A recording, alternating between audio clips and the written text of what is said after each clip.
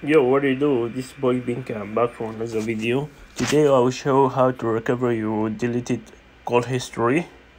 Uh, let's get the started. The first thing, go to call, and you see you have recently called. Hit edit in the top right corner, and hit in the left corner. You see clear all recent call.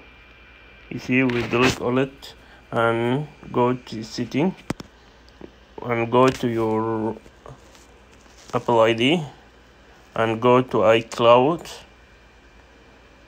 and make sure you have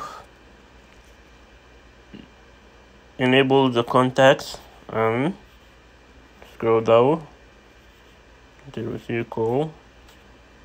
That will make sure that you backup your receiving call deleted hit iCloud backup or iPhone storage you see you need to turn on your iCloud backup.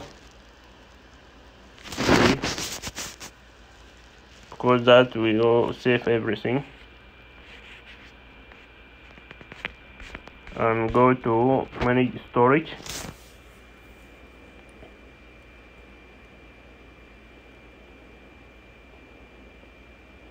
backup uh, last one. And you see uh, because I don't enable the backup in my phone if you enable you you would appear the recently deleted and you backup your recover you, you delete call history. And after that you you can restart your iphone or something like that. From go to setting and go to general and scroll down until you see trans transfer over start iphone. And you can restore all content and setting that will be in the like new iphone. And this video for today I hope helpful for you. And don't forget to subscribe my channel to see new stuff. And see you next time guys. Bye bye